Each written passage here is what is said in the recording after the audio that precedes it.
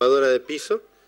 Eh, lo compramos esta semana. Bueno, es un, honor para nosotros porque en realidad es la, misión por ahí que tiene la cooperadora de, colaborar con el hospital. ¿eh? Es una autofregadora que se llama eh, y salió 31 mil pesos, así que bueno, muy contentos por haber logrado ese objetivo un aporte valioso, granero, para la... Sí, yo considero que sí, que es un aporte bastante bueno que hizo la cooperadora para el hospital. Esperamos seguir haciendo lo mismo. O sea, siempre y cuando tengamos quien contribuya para poder seguir adelante, ¿no es cierto? Esa es la misión que tiene la cooperadora, ayudar al hospital. Y, y todos aquellos que puedan estar en el hospital. Bueno, director, seguramente muy importante, ¿no? Para ustedes, la presencia de la cooperadora y la colaboración de la sociedad. Sí, sí, muy importante. Bueno, hoy tenemos un gran diálogo con la cooperadora, hay muchos proyectos. ¿eh? Este es un, bueno, desde que de, mi gestión es eh, uno de los primeros que se hicieron realidad, pero tenemos muchísimos más eh, en carpeta y bueno, como siempre, esperando bueno la colaboración de parte de la comunidad con la cooperadora y obviamente el trabajo conjunto de la cooperadora con, con el hospital, como siempre, ¿no? ¿Este artefacto va a ser destinado a limpiar todos los pisos o de solamente una parte del hospital?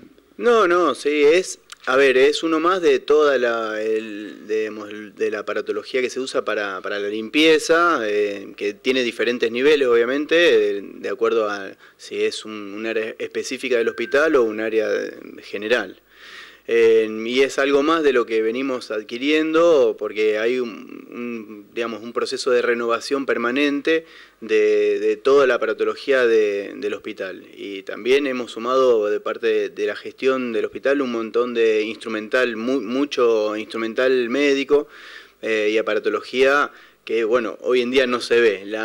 esta fregadora se va a ver permanentemente por el hall principal, pero tenemos mucho instrumental en terapia intensiva, quirófano, que eso bueno, está en áreas que la comunidad no lo ve y que es, lindo también transmitirlo y contarle a la gente.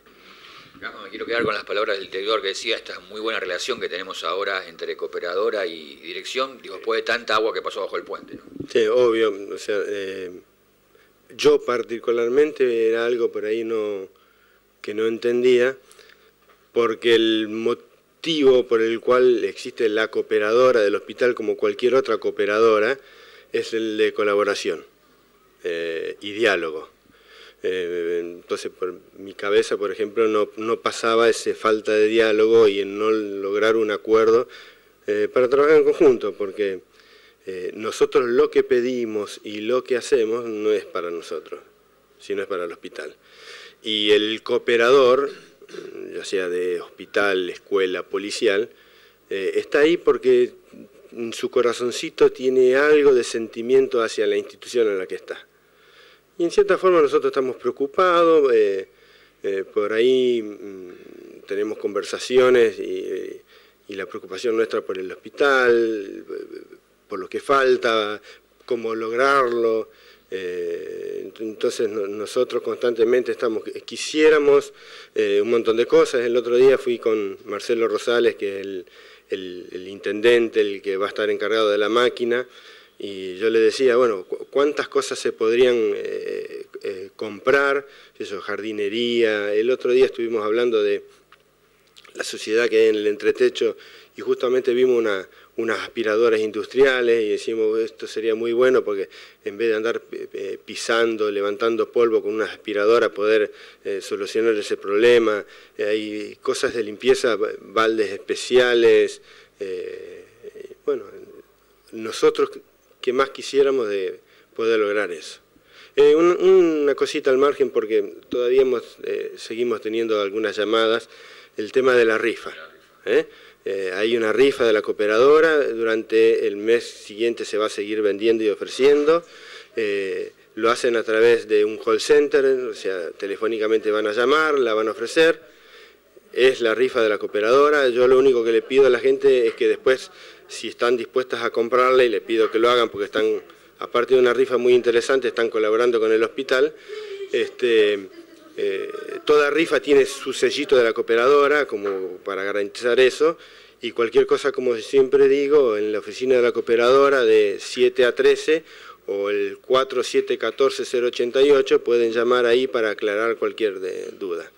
Bueno, Granero, el objetivo es seguir trabajando, ¿no? Sí, eh, nosotros, gracias a Dios, estamos muy contentos porque tenemos muy buena colaboración, nosotros colaboramos, pero a su vez el director del hospital, el vicedirector, están siempre eh, dispuestos a, lo que nosotros pedimos, es decir, lo que se puede, porque dentro de todo la cooperadora hace lo que puede con, con los medios que tiene. Es decir, no podemos hacer más porque no tenemos los medios, pero en cuanto tengamos, vamos a hacer más compras, muchas más compras para ayudar. Ellos, ellos lógicamente están en la parte que conocen, es decir, eh, porque sabemos que han comprado muchas cosas para terapia, para operaciones. Bueno, nosotros estamos en la parte de limpieza, en lo que se pueda, ayudar o comprar estanterías para otras cosas, pero siempre dispuesto a ayudar al hospital. Bueno, eh, director, eh, en lo global, ¿cómo está el de Perón? ¿Qué nos puede comentar? Lo tuvimos en su asunción desde su comienzo. ¿Cómo, cómo está hoy por hoy el Hospital Eva Perón de Baigorria?